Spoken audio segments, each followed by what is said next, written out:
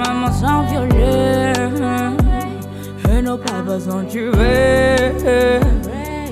Une génération quand on perd tout au Madrid. Dire tu me comme